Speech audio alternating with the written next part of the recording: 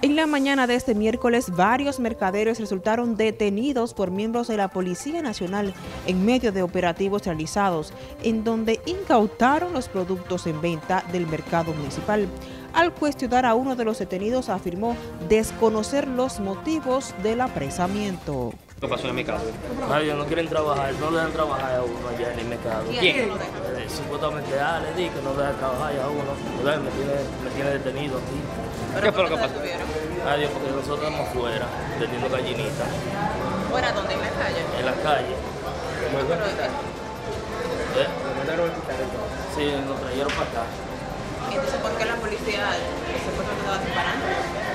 No sé, yo no, yo, a mí me agarraron preso. Me tuvieron, mira ese teniente ahí como me agarró a mí, me prestó, y yo salí nada, ni me puse cabeza.